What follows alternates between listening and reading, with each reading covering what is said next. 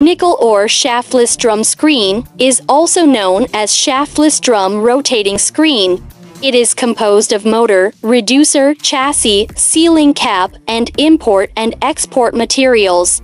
Widely used in the screening of various materials, it is a equipment often used in refractory materials, coal, river sand classification, sand and stone classification, Nickel ore shaftless roller screen adopts rolling conveying principle, small friction coefficient, light friction, screen hole is not easy to plug. Roller support adopts integral through shaft structure, smooth operation, no vibration, low noise, the inner roller screen parts are designed separately, the structure is simple, the replacement and maintenance is quick and convenient.